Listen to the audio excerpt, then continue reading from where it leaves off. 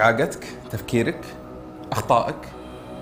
تقدر يعني معترف. أي نعم بالله معترف. كويس الواحد مؤمن بخطأه بحيث إنه ما ينصدم بالواقع. حمادة آسف طولت عليك. مبروك العودة يا حمادة.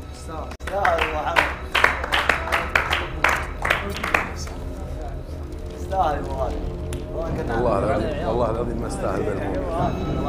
أبو حميد. دود لك قسما بالله